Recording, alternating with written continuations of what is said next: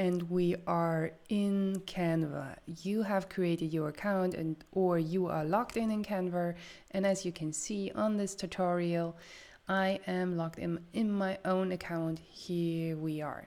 I haven't I don't have an upgrade. I have the free version because um, everything what we want to do today will be available in the free version. I did a little bit magic beforehand in Photoshop and in Canva for you to create this master template. Sorry.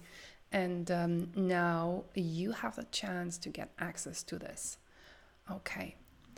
So here we are, you will see the dashboard here. And instead of creating a new design or adding more designs to start from scratch, I have created a template and this is the template and when you will click on the link I have shared with you you will see this here which is loading right now.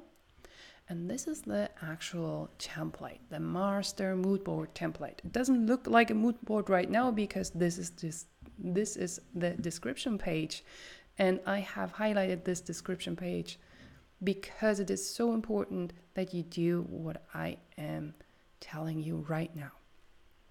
Okay.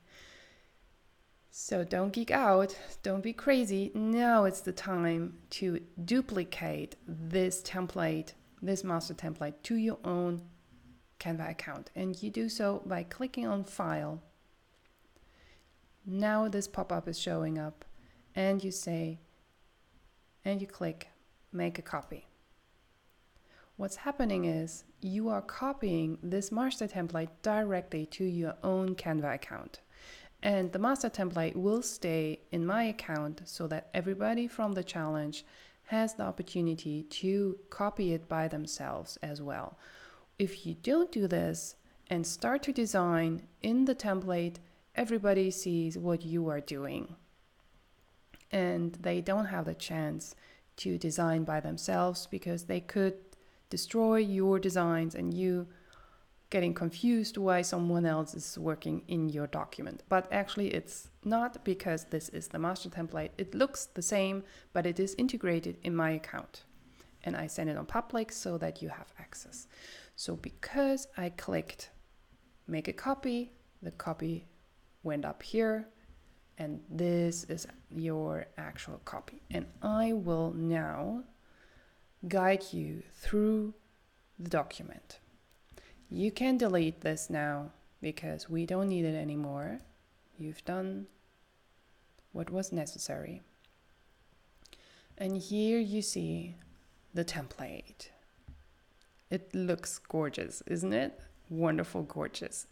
And it looks totally different than all the other template and mood boards out there because I have done the Photoshop magic beforehand.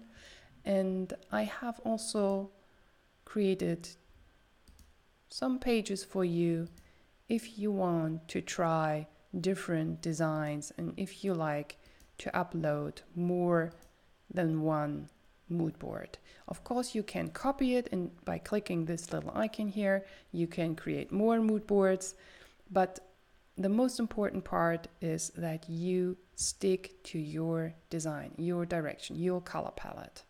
And next video will be about how to go further and create the actual design.